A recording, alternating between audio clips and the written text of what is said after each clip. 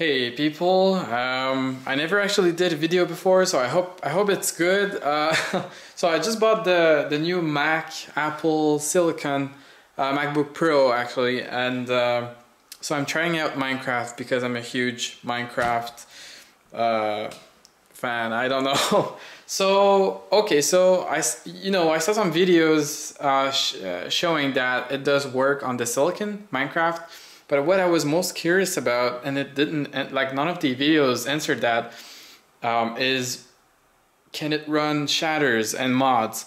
And the answer is yes, guys. Um, so Java installed, so okay, so before anything, I had to install Minecraft, obviously.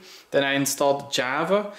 And finally, um, it, it looks like it's running native. I can show you a little bit of uh, I don't know how I can play this, but as you can see, um, here is a, I'm using the Sildur's uh, shaders. If I show you in the shaders folder here. Um, so this is the, the, the, the default enhanced um, shaders uh, or shaders. I don't know how you pronounce that. English is not my native language, by the way. Uh, anyways, so, so this is pretty cool. This is pretty cool. And I'm running this um, native resolution. So I didn't even have to drop the, the resolution a little bit. Um, obviously, oh, I keep hitting that key. Obviously, you need to install Optifine for this. Um, so just to prove that it is silicon, uh, if I go in the Apple menu here, about this Mac, I don't know if you can read this. Here it is. This is the Apple M1 16 gigs of RAM. Um, this is precisely the one terabyte uh, model, but this is just to show you guys that uh, Minecraft Shaders mod uh, does run on this.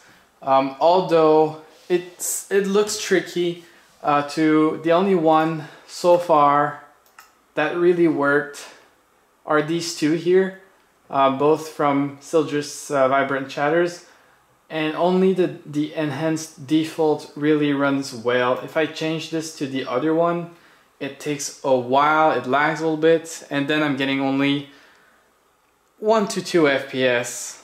I'll skip that a little bit because it's gonna take a while. Alright, so we are back. Um, so as you can see,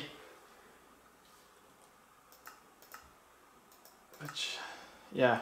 So anyways, the the other the other shader uh, actually crashed uh, unfortunately. So this is the only one that really works for me now. Um, you can see my uh, shadow here, so um, it does work. Um, what else can I say? Yeah, the FPS. Okay, so how many FPS are we getting here on native resolution? Let's check this out. It is about 42 FPS and I'm not even plugged in. I'll show you. There's no cable attached to my Mac right now. Um, this is all from the battery, battery power. The M1 is awesome, truly. Anyways, uh, so about now, okay, 45 FPS, 46. Anyways, um, and this is with Shaders Mod with Rosetta. This is very impressive, very impressive. Anyways, um, although it is playable for me uh, on uh, you know native resolution I kind of like to go here in the shaders folder and turn this down a little bit render quality. 0.7 seems okay. Now I'm getting a full 60 FPS this is this is it it I'm I'm a guy I uh, I had before this is Surface Book 2 with uh, GTX uh, 1050 and this is this feels actually better um, for the same uh, resolution even if it's under an emulator. This is this is amazing this is awesome. Anyway so thanks for watching. I'll leave uh, the link to this shaders in the comment. Um, as I say this is my first video so I just I'm not, I don't think I'm a video guy, I just really wanted to show you this uh, for Minecraft fans and people who had the same questions as I had. is it possible to run um, Minecraft Shaders on the uh, M1 and this this is the MacBook Pro but you know the MacBook Air has the same chip so you should have a very similar performance um, and I'm not hearing the fan at all. The fan is not on. The fan is off completely.